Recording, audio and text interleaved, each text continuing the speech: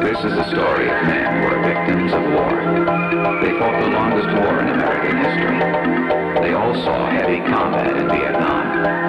Although they were all decorated for heroism, none of them received the hero's welcome, welcome, welcome, welcome. Unlike Vietnam, World War II saw America unite behind the fighting men. The two wars were just as different on the front lines as they were at home.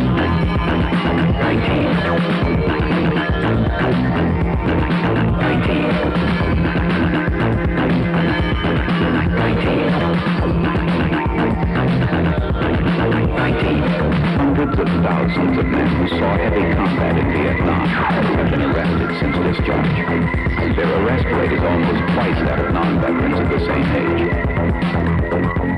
There are no accurate figures on how many of these men have been incarcerated, but the Veterans Administration study concludes that the greater a vet's exposure to combat, the more likely his chance of being arrested or convicted.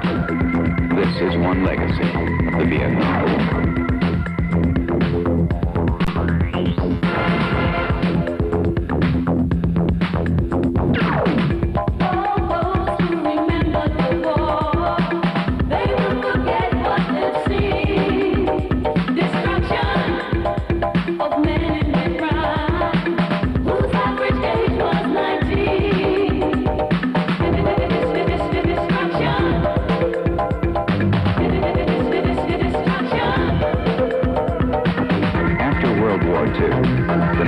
Home together in troop ships, often less than 48 hours after general combat.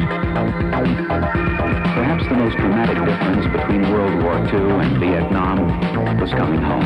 None of them received a hero's welcome. None of them. None of them received a hero's welcome. None of them. None of them. None of them. None of them.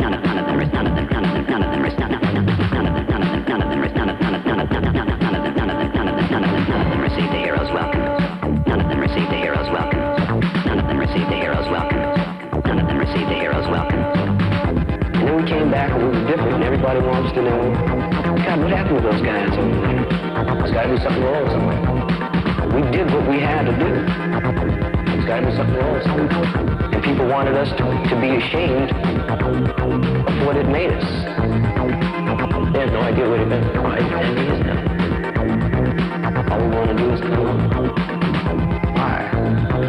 All we want to do is come on. What if we do? Música